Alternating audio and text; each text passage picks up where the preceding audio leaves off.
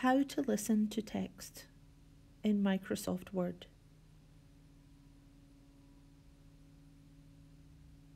Open up the Word document that you wish to listen to.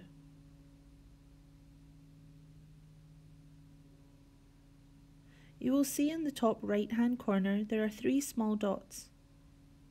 If you click on this, you will see there are options. Click Read Aloud. Design Essay Task 1 To end the reading or to change the speed of the reader, the options are in the bottom right hand corner of the page.